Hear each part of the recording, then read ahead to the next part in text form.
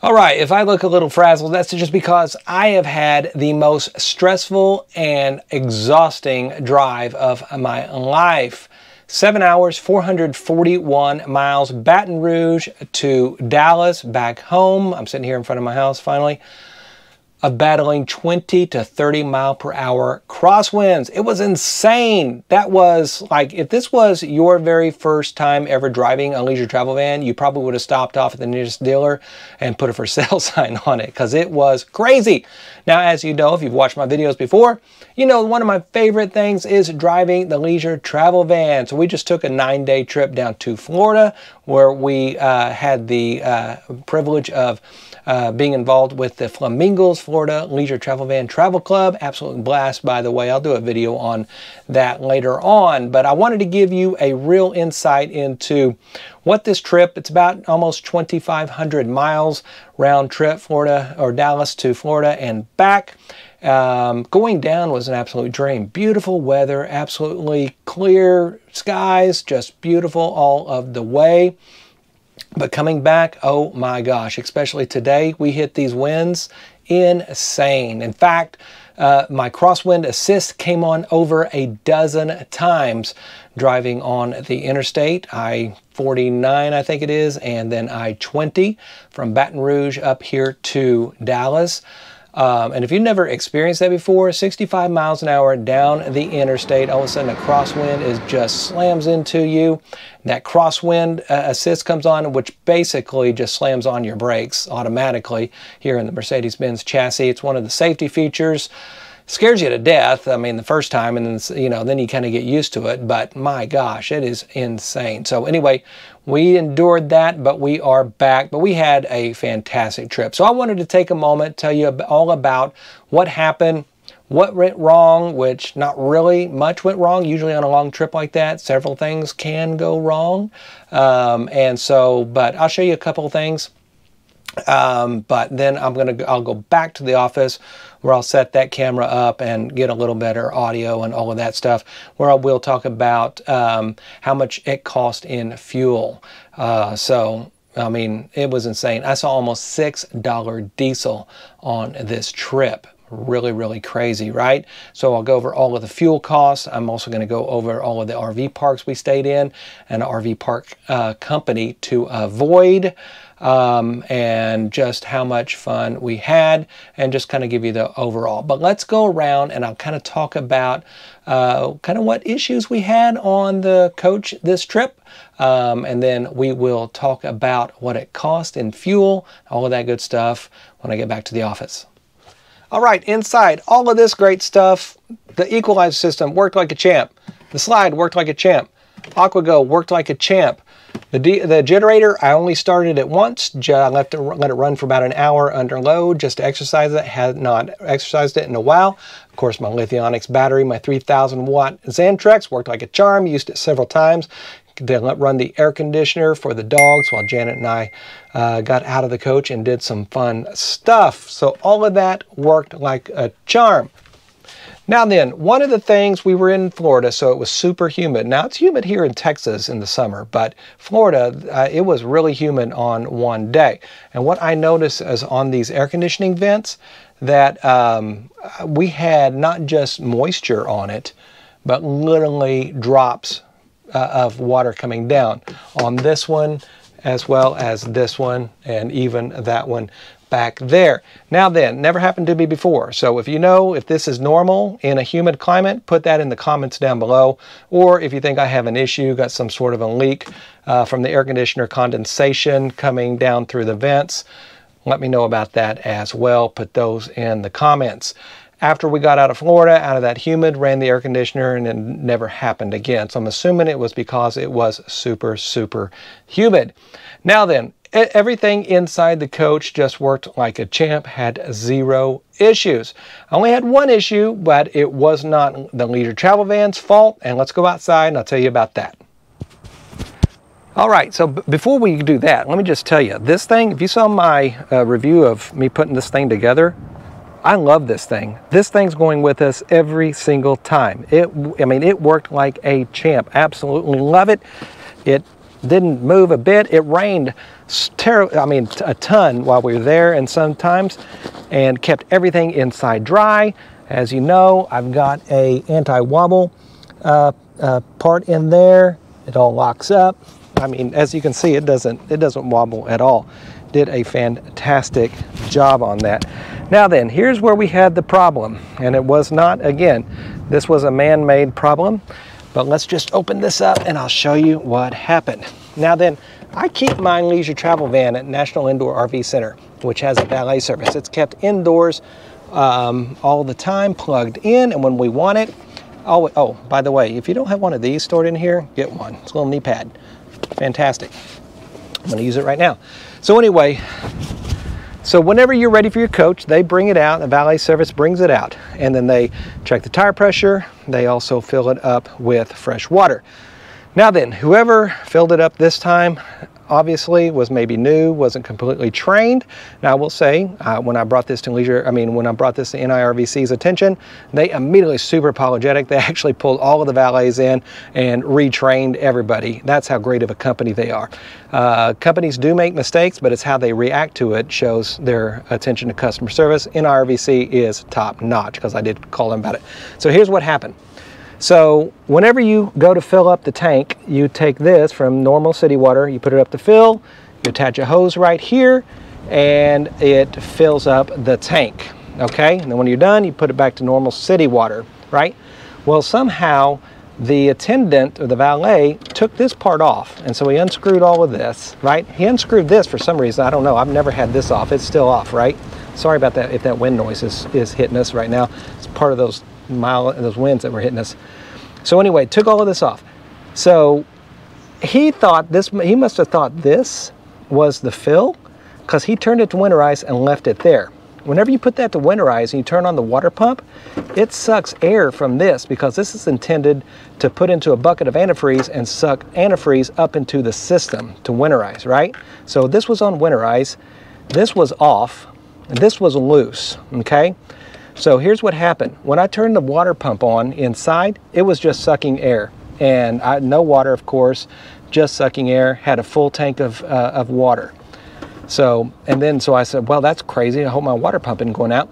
So I come in, I put, hook this up to city water, and this is all leaking from right here.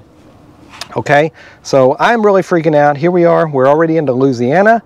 When I found this out, nine day trip, am I gonna have water? Course, called NIRVC. That's whenever they said, we'll do whatever it takes to get you fixed up. So fantastic company.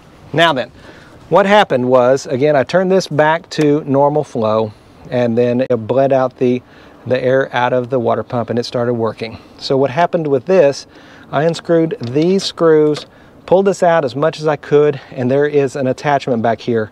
I just screwed that up, uh, screwed that back on, and it fixed the leak. So everything was great. Kind of freaked out at first because I thought, oh my gosh, my entire water system is going to be bad. So, but it all fixed up. So anyway, that was the only issue I had during the during the, this nine-day trip, 2,500 miles, and that you cannot beat.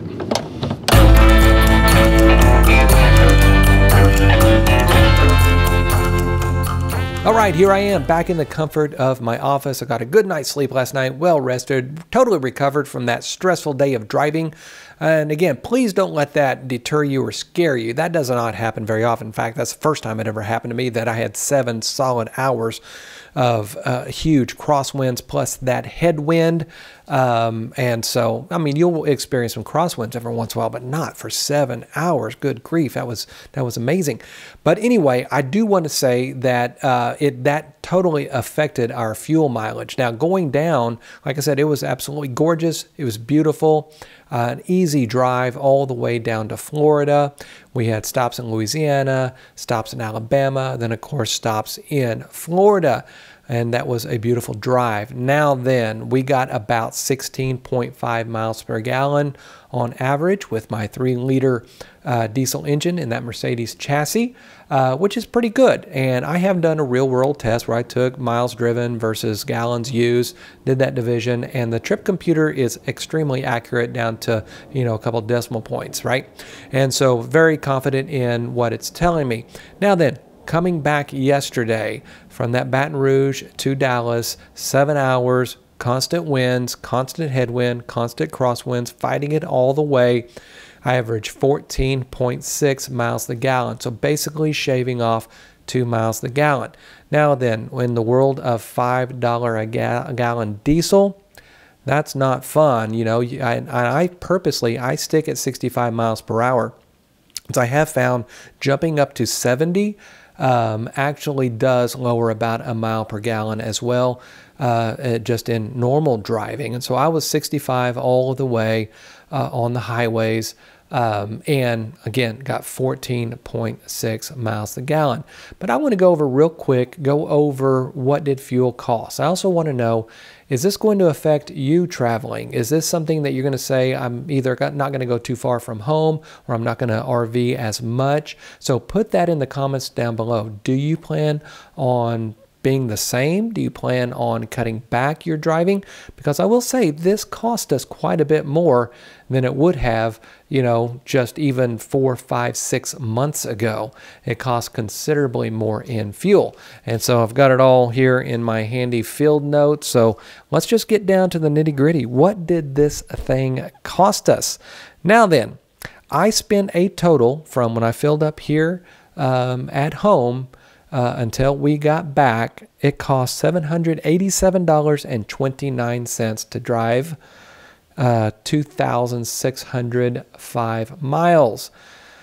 That is pretty significant because it would be, you know, I'm sure it'd be in the four or five hundred dollar mark just six months ago. So spending an extra three hundred dollars or so, um, I mean, that's pretty significant, right? And so and diesel prices were different state by state. In Texas, it's under $5. It's in the fours. In fact, when I filled up here at home, it was $4.67 per gallon. Um, and then in Louisiana was the cheapest. Uh, that was $4.48 on a fill up. And then Florida was the highest with a high of $4. No, I'm sorry, $5.36 per gallon. Um, and that was finding that fuel. I noticed that all of the Love's and all of those travel stops are considerably higher than if you just go to say a RaceTrac or a QuikTrip or you know just a, a basic convenience store uh, filling station. And so the Love's, they were, that's where I saw almost a $6 a, a gallon. I was seeing $5.88, $5.91 at some of these Love's on the highway. Now then we do have a TSD card uh, that you get a huge discount on. It's a fleet card that you can join I'll make a video about that as well at some point.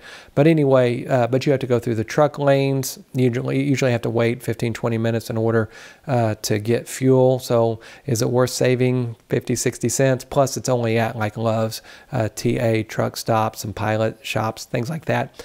Um, and so for me, I'd just rather get in and get out even if I had to pay a tad bit more. But fuel was uh, extremely uh, higher this trip. Um, not sure if it's going to go down anytime soon, especially with the war in Ukraine, uh, with inflation, all of these things. So now then, RV park, park costs. Uh, let's jump over to RV Trip Wizard, kind of go over my entire trip with you in that and talk about it. Um, we were seeing my low was in the uh, 40s for what I paid for an overnight stay in an RV park, and then a high of around $77, but for an extremely nice RV park, and I would pay that every day for this particular park. But let's jump over to RV Trip Wizard, and I'll show you my entire trip. We are in RV Trip Wizard. This is how I plan all of my big trips. I don't use it for like weekend trips or anything like that. It's a bit overkill for that, but for this, this is perfect. So check out RV Trip Wizard for sure for uh, uh, for a trip planner. Love this thing. As you can see, it shows me each night, each RV park I'm going to stay at. It tells me how much it costs to stay at the RV park, how much gas I'm going to get to get there, how long it's going to take to get between each one. So it is fantastic. But as you can see, our route here, it is great. All of these RV parks were great. Couple that stood out.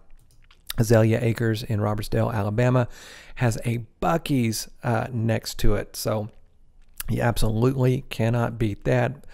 Beautiful park, wonderful people, and, and fantastic dog park. Another one stood out was, of course, Grand Oaks Resort and Museum.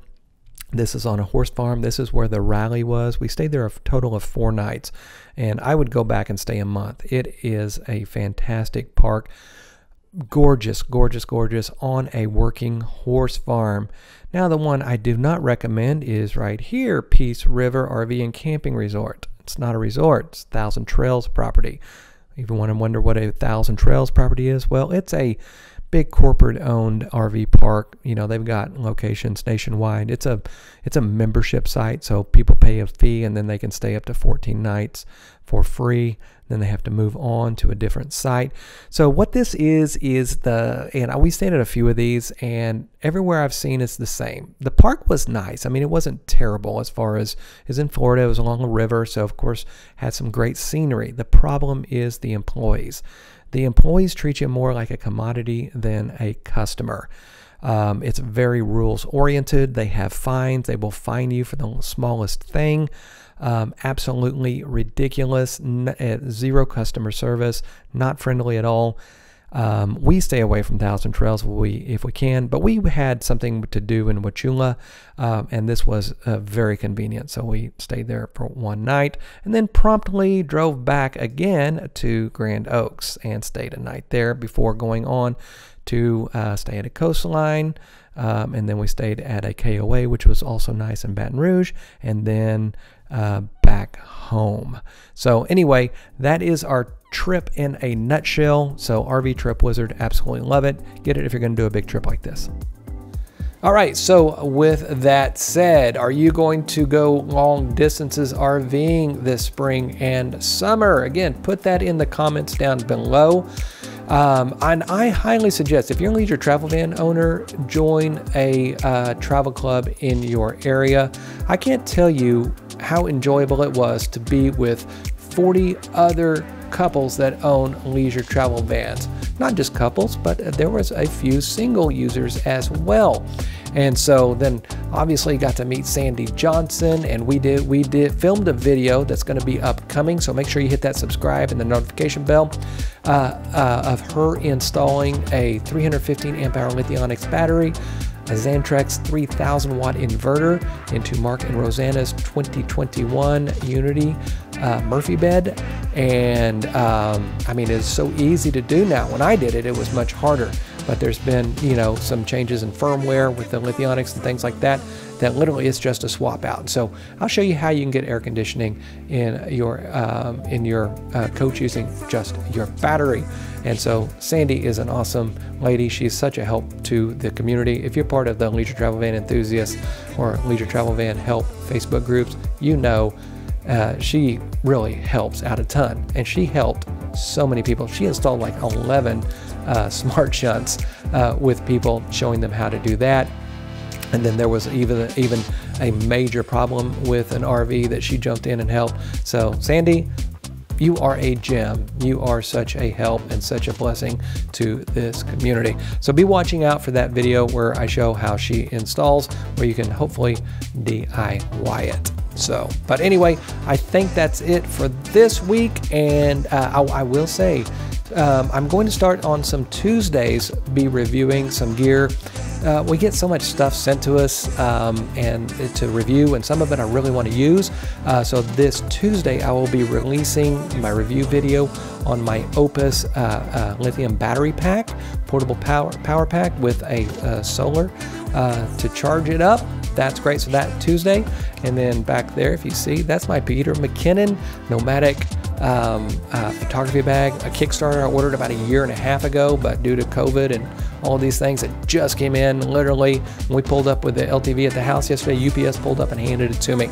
So I'll be looking at that. So if you're into photography and stuff and want to see that kind of stuff, I'll probably be doing more of it, those type of videos where I review gear and gadgets on Tuesdays um, because, you know, Tech Tuesday probably already used, but anyway, so, uh, but I'll be releasing that video about the lithium battery pack uh, that you can run CPAP machines on.